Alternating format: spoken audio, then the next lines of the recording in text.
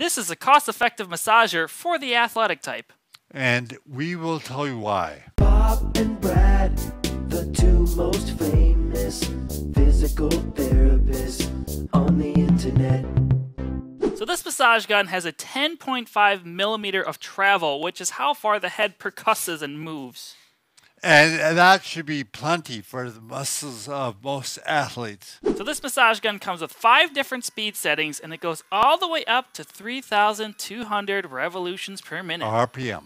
Okay, Mike, this gun has a high stall force, which means you can have difficulty stopping it. Yes, this one has a higher stall force than our other massage guns. So the X6 actually has a brushless motor, which all our massage guns which do. is good. Meaning it's very quiet and it's only 55 decibels loud. I don't know if you can hear this, but it's on max speed right now. The cheap guns have br brush motors, and they tend to break down in 3 to 12 months. Yes, and we have a year warranty on this bad boy, so if yours breaks down, just let us know. So this massage gun comes with five different massage heads, like most our other ones, and it works with the interference fit besides the flat it has a metal one. Yes, which you can cool or heat. Heat, right?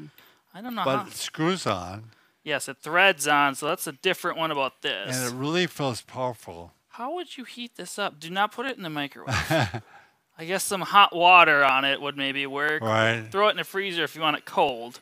But yeah, the flat head is for more muscle dense areas. I like to work my IT band with that. You also And it have glides on clothing. yes, it glides on clothing well. It's a little different when you're wearing athletic shorts. Sometimes stuff can kind of bunch up, so Right. it glides well. We also have the foam head, which you can use directly on, or you can go at an angle depending upon which body part you're working on. It's like cross fiber massage. Yes, we also have a bullet head, which is more for a trigger point. It's very tense. If you have a deep, maybe your piriformis, I guess. Get your piriformis with that. Ooh, Your buttock. your buttock area. You want a thicker muscle belly for that. You don't want to use that on your hands. Oh, How about the field goal, Mike? Field goal. This is okay on calves or Achilles tendon, I like, or forearms. You can glide up and down nicely there. They say I it's for the back, but I don't use it there. Sure. Use it at your own risk.